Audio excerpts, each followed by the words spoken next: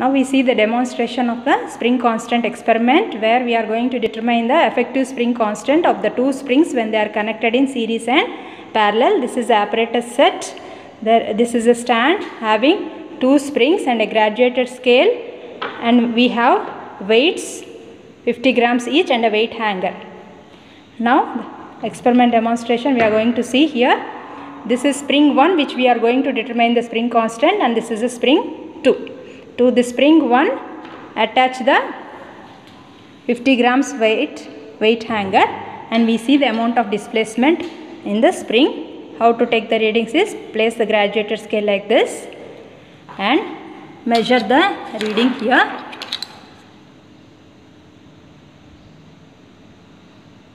It is been taken as here 9.5 see here the bottom part it has been taken as 9.5. See the reading should be taken without any parallax error. It is 9.5. Now this is a tabular column for the spring 1. We, this is the tabular column. We need to take 5 readings. First column is serial number. Next is mass in mass m in kgs. Like this. Here in kgs we are adding 50 grams. 50 grams means if you convert that into kgs it becomes 0.05 kgs and next is like that we keep on adding 50 50 grams here. So it is when it is converted into kgs it becomes 0.10 next is 0.15 next is 0.200 250 grams it is converted it becomes point moves towards this side. So the values will be taken mass in kgs here. And the amount of displacement we have seen here as 9.5 centimeters. But here the displacement x is in meters Therefore, we are taking as 0.095 because that is conversion of centimeters to meters it becomes 0.095 is the displacement. Now you add another 50 grams and see the amount of elongation. Now the if you measure it the value will be if you see here it becomes 11 it should not move oscillate here. Take the reading appropriately.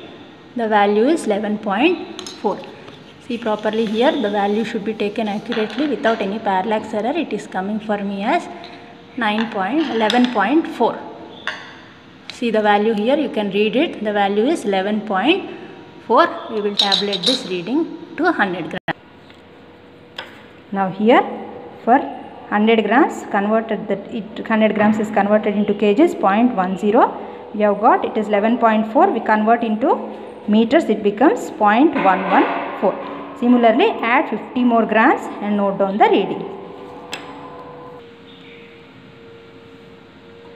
add 50 more grams and see the elongation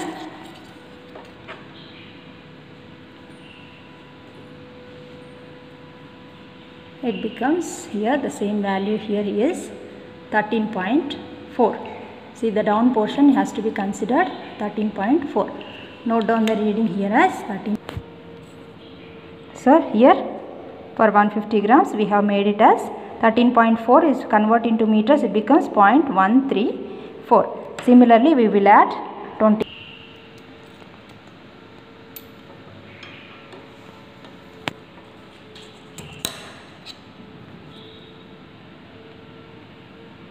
you see the readings here it is 15.4 note down the reading as 15.4 now see for 200 grams we made it as 0.154 15.4 convert into meters 0.154 next we add another 50 grams. Now we have added another 50 grams and note down the value here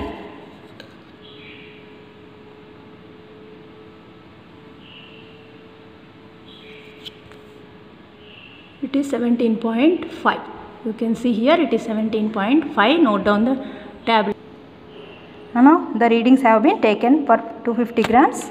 The fifth column has been filled. 0.174 this is the tabular column which we have filled.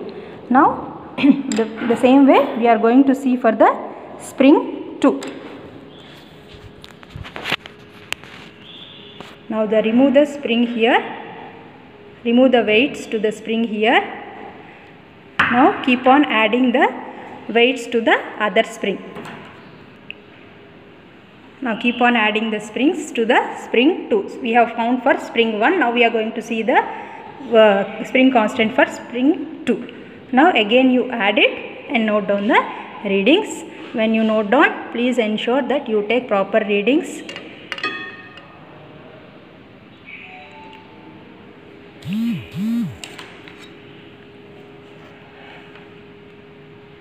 you can see here. Again you have got it here for you can see the values here. Note down these values. Here here got here 9.5 tabulate the readings as 9.5 now spring constant. Now we are doing for the spring 2 for spring 1 we have done. And the spring 2 we are going to see for 50 gram that is 0.05 we have got the value as 0.095 so this is the value. Similarly keep on adding the weights and note down the readings for the spring 2 now similarly for the spring 2 we kept on adding the weights and taken down the readings. Now the spring 2 is been completed. Now we see we connect the spring 1 and spring 2 are completed. That reading part is completed. Now we connect the springs in series. This is a series combination and this is a parallel combination. Now we are going to connect the springs in series.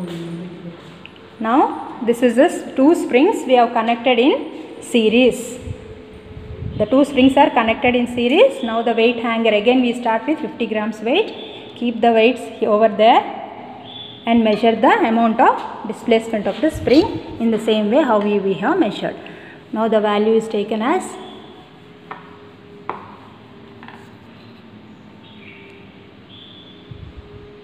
Eighteen point two. Take down the reading here for fifty grams and series is eighteen point two. I have taken the reading for K when the two springs are connected in series K series effective spring constant for 50 grams we are getting 18.2 convert into meters we are getting 0.182 similarly we repeat the same procedure for different mass different loads attached to the series combination now keep on adding the weights and measure the reading over here. It will be when the two springs are connected it is coming to 21.5 note down the corresponding value. Similarly you have to do for the rest of the loads attached until 250 grams and tabulate the readings. See here we have been tabulated the readings for the springs connected in series. For this low mass at load attached to it we are getting the displacement of the spring. We are writing it. Now we are going to see with the parallel combination when the springs are connected in parallel. Now this is a parallel combination the two springs are connected in parallel and the same way the load is being attached to it and measure the values of displacement of the two springs. Here the value of spring displacement is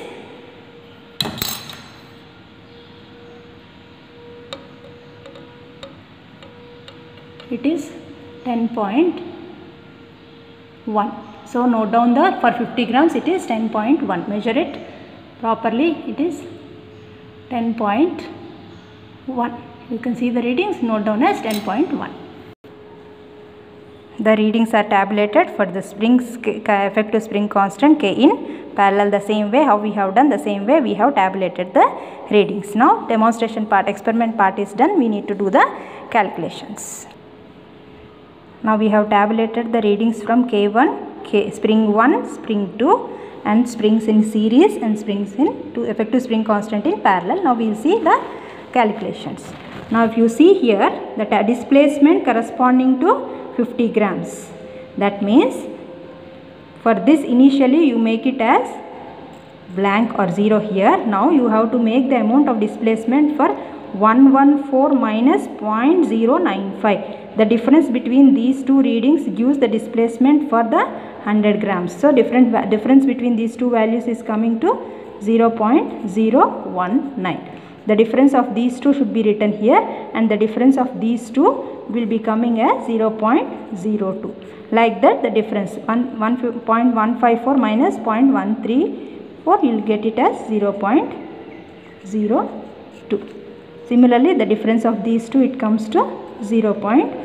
Take the average of all these things, add up and divided by 4. You will be getting as 0.01975. Take the add up, take the average, you will be getting here. Now what is the spring constant? What is the calculation? We know that F is equal to K1 X1. Therefore K1 you are going to find F1 by X1. Here the displacement is been taken for 50 grams. So we can take the calculation as force as 0.05 into 9.8 divided by x1. x1 value is this one. So if you do it, you will be getting the value as 24.8. This is the k1 for k1 value of k1 for the spring 1 is 24.8. Similarly, we have to work on the other tabular columns also. Now we'll the same way we have to complete the calculation part.